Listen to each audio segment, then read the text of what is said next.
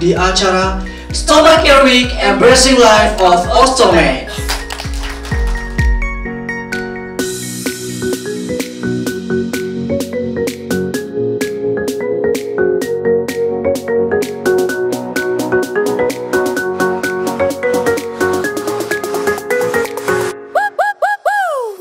pada acara dua hari ini kita akan mendapatkan informasi terkini tentang perawatan stoma untuk dokter spesialis, perawat, perawat TN, dan perawat-perawat lainnya untuk berbagi pengetahuan, bertukar strategi, dan bertukar tips-tips sehari-hari yang mereka temukan dan berguna untuk menghadapi keadaan stoma ini tersebut.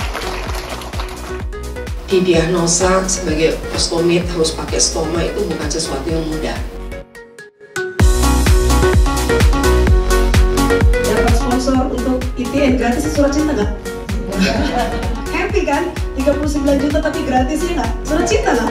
Surat cinta, kalau saya surat cinta. Lebih keras lagi.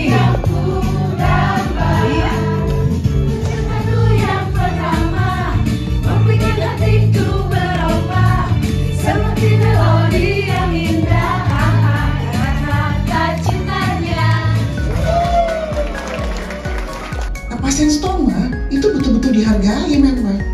Oke, jadi ini ada 10 hak ostomit.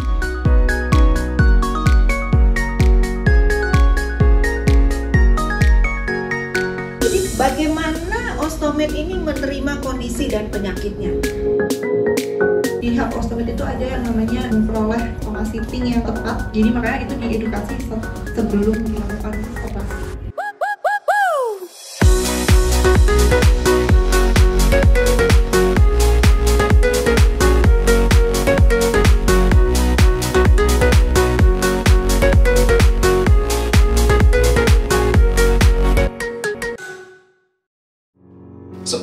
juga diejekin karena di sekolah kita bingung kan duduk gini eh berair. Kita berdiri gini berair lagi. Sampai pada akhirnya dalam titik kejenuhan waktu itu Dava sempat down bener-bener down bu Dava udah gak sanggup lagi. Aku udah gak sanggup lagi nih kayak gini. Boleh nggak? Aku mau suntik mati aja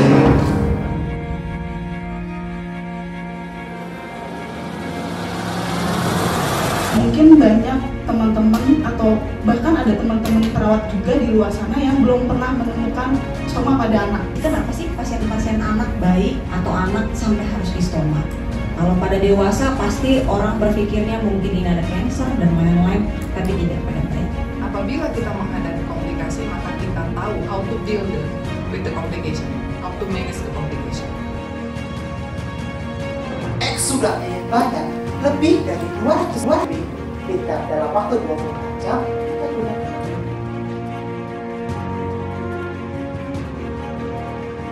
ada nggak ya dok hal lain yang bisa saya tuh nggak harus operasi sama artinya penerimaannya sendiri aja pasien itu masih sangat sulit dok kalau paling gampang gitu cara uji berarti kan ada pengalaman tinggal ambil tisu aja terus nempelin terus Sebelumnya untuk Dava, Dava sebelum kamu hancur, pasti ibumu lebih hancur duluan. Tapi pastinya sekarang ibumu sudah bisa tersenyum juga ya. Ya Dava sudah bisa bangkit, bahagia. Kita aja di sini yang mendengar terharu banget.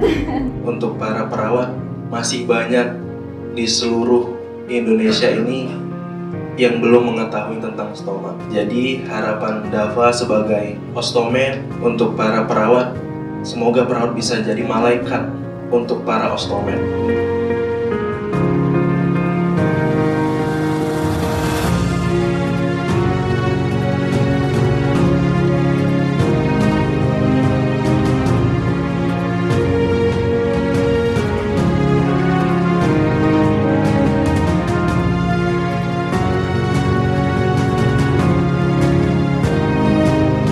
Indonesia nih seperti yang kita tahu bahwa urutan kanker kolorektal di Indonesia itu ada di urutan ketiga nih kan. Menyikapi fenomena tersebut, maka tuntutan pelayanan yang berkualitas menjadi tuntutan bagi para stoma nurse. Di Wellcare Center, kami berdedikasi untuk peduli dan memberikan kenyamanan untuk pasien stoma. Sini kita ada menyediakan beberapa informasi terkait nanti apa saja yang harus dilakukan pada Ostomed pada saat pre-operasi, post-operatif, atau pemilihan kantor yang sesuai dengan kondisinya.